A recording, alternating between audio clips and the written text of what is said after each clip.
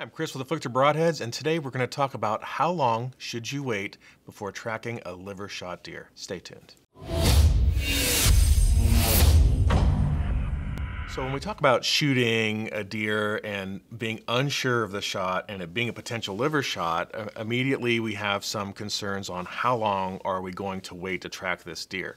But let's back up real quick and talk about the anatomy of the whitetail just briefly and where the liver sits and how it's positioned and it'll give you a good idea uh, between that and how the whitetail reacts to did you get a liver shot. The first thing we want to talk about is where does the liver sit? So the liver is really tucked in tight between three different things. So you have the stomach and the gut area here. The liver rides up against that. And then you have the diaphragm and then you have the lungs. So you're kind of have that liver sandwiched in there, and the liver isn't an organ that lays long ways through the deer cavity. Okay, so the liver is, is almost perpendicular. Now, if you can think of it as maybe a little bit of an L shape or a cup shape to where um, you know it's wrapped around the stomach and gut area a little bit, and so part of it is straight while the other kind of curves around a little bit. But it is a narrow um, organ, if you want to think of it that way, when you are considering the whole deer cavity. Now, another important factor here is that there's more cavities than one in a deer, right? We have the front thoracic cavity, and after the diaphragm, we have another cavity, and that's where the liver sits. So the liver is not a giant target, and often when you get a shot that's a little far back, you are going to clip the lungs as well as get the liver, or clip some stomach or intestines as well as get the liver. So it's kind of an area where you can get a little bit of everything and it can be hard to discern, did I get a liver shot?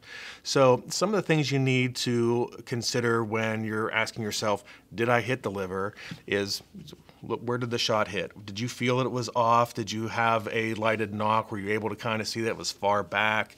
Uh, how did the deer react? Oftentimes, when you get a deer that is hit uh, south of the diaphragm, if you will, they will hunch up. They will hunch over. Uh, they will react that way uh, where they're just kind of, you know, given a little bit of a scrunchy, strange motion. It's uh, Sometimes they will kick. Uh, and so you just got to kind of think, well, maybe that's another discerning factor that I hit liver. the other is tail flicking. If your deer is going away away and you're seeing that tail and it's flicking a lot, like really uh, nervously flicking, that's a good sign that you have shot behind the diaphragm and could potentially hit liver.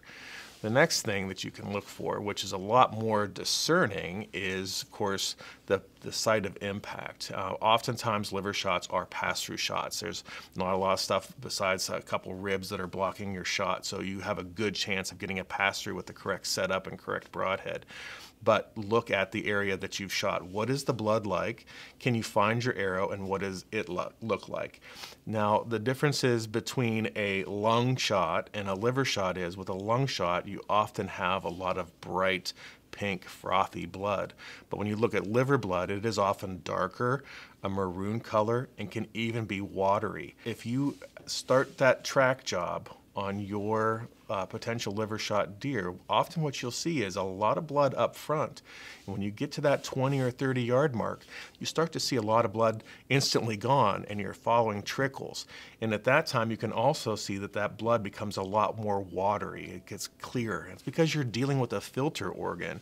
And as that blood is pushed through the different capillaries and other minor vessels and veins, you're getting a lot of serous fluid, a lot of white blood cells, and it tends to start to water out that blood little bit. But at the beginning of the track job, you have to make a big decision. And this is the most critical part when you are tracking a potential liver hit deer is this first decision you're going to make.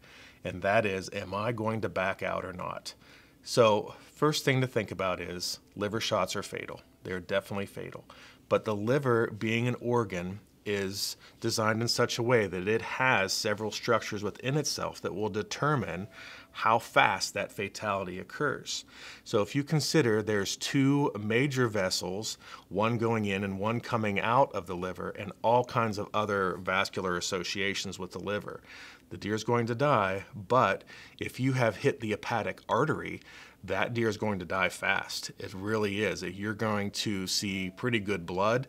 The, the thoracic cavity may contain or pull a lot of that blood, so it may not be bleeding out of the whitetail, but they are going to bleed quickly and they are going to die quickly. Now, making that decision at that point is the tough part because you're going to have to look at that and say, okay, I have a ton of blood. Like I think of it in water bottle terms. Okay, if you the average liver contains almost a full average size water bottle of blood if you have a bunch of water bottles of blood, two water bottles, you will probably have hit the hepatic artery and you're probably pretty safe. But if you are just seeing maybe a cup or two of blood and then it starts to trickle, you have got to give up the chase. And this is the key thing when it comes to liver hits. A liver hit that is not quickly fatal, meaning you didn't hit the hepatic artery or any of the major vessels, that deer can go a couple hundred yards. It is going to die, but it is going to walk off. And if you have been quiet in your stand, if you have been quiet in your blind and just kind of stayed put and watched, he's often not going to feel like, you know, something's pursuing me. I'm not in trouble. I'm going to go lay down. And that is what you want to do.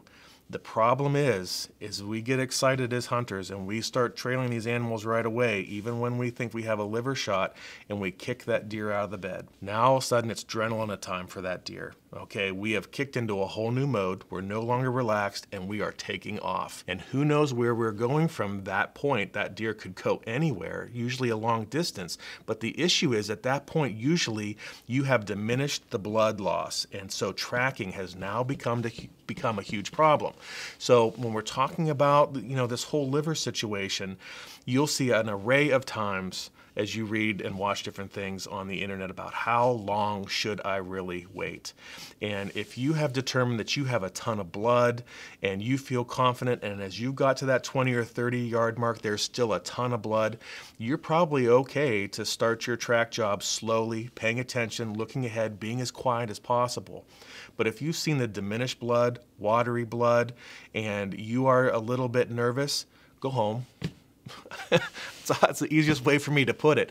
You really should be giving that deer at that time six to eight hours. And I know that's extensive, but as you are running the risk of kicking that deer up and losing it, it is best just to do what you can to wait it out.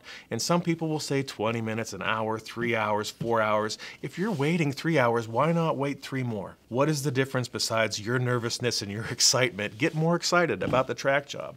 And remember, after you've given yourself that time, you have given yourself the best chance that if you do have a liver hit that is fatal, you are going to recover that deer. Now remember, whenever you're tracking a whitetail, no matter where it's hit, but especially when you are hitting behind the diaphragm in the thoracic cavity anywhere, you want to make sure that you have your bow at the ready and that you're ready for a shot because you may come up on that deer bedded and they are weak enough that they're going to give you another shot opportunity, but they're also strong enough that the closer you get, they're going to jump and run. So you want to be prepared for a follow-up shot if possible, if that's what the situation dictates. So make sure that you have your archery equipment at the ready during the uh, liver tracking job.